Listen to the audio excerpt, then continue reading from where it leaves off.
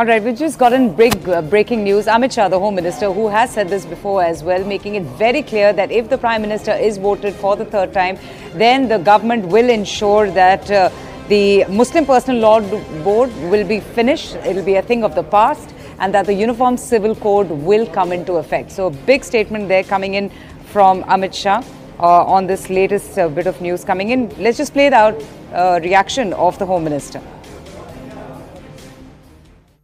भाइयों, बहनों, मोदी जी ने धारा 370 को हटाया।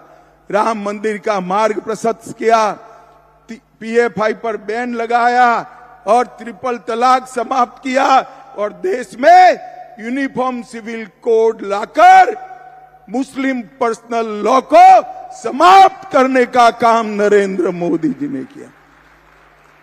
अभी सिर्फ़ उत्तराखंड में आया है।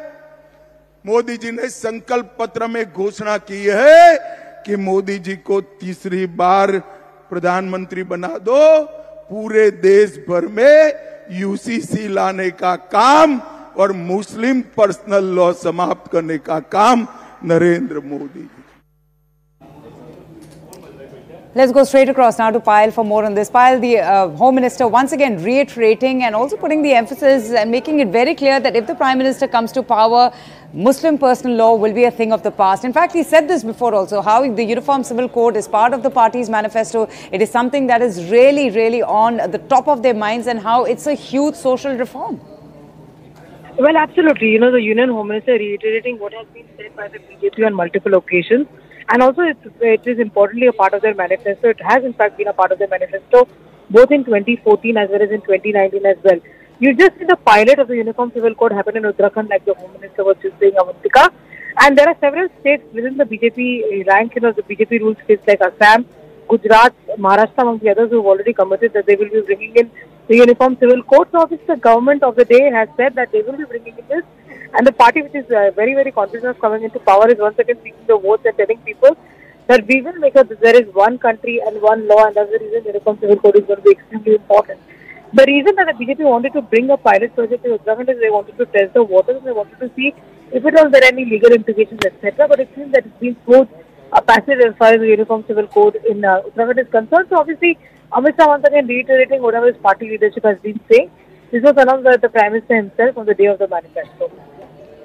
Tell me something, has the Home Minister also given details as to how it would be uh, put through legal scrutiny? Now, I know that it's already a law in Uttarakhand, but have they, do they have a plan, Payal, that if if the Prime Minister, if the BJP comes back to power in these elections, how will they implement this, uh, the Uniform Civil Code in the country?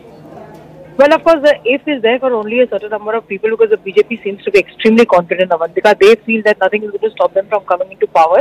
And like I said, that several BJP rules states have already made their announcement saying that they will be bringing in the Uniform Civil Code. And possibly the next state in the line could be Assam, which is well on course to prepare the grounds for that is concerned. So, you know, a certain number of states really bring in that, then you don't need to bring a central law is what we're given to understand. So obviously the government of the day has always has already looked at uh, the, the details, has already looked at the legal implications. And that's the reason, you know, even in the Uniform Civil Code bill was being brought in Uttarakhand, every step of the way, Amit Shah was pretty much part of the entire process. I remember very clearly that all the draft reports were shared by the Uttarakhand Chief Minister and Ranjana Desai, who was heading the committee for the Uniform Civil Code with the Union Home Minister and with the higher ups in the BJP and the government. And the party seems to be extremely confident that this is going to soon become a reality. Remember, when the BJP was seeking vote Avantika for the first time in 2014, they had made three to four commitments. They've spoken of the fact that the Ram Mandir will right, Pal, Pal just stay on with me. Charan Singh Sapra from the Congress is also joining us on the broadcast. Uh, Mr. Sapra, how do you respond to the remarks being made, the assertion, in fact, I would say, by the Home Minister saying that if the BJP is voted to power, one thing that is going to take priority is the implementation of the Uniform Civil Code. And he's very categorically stated that Muslim law will be a thing of the past. Wo khatam ho jayegi, Muslim Thank you for watching CNBC TV 18. For all the latest news and updates, do follow us on our social media platforms.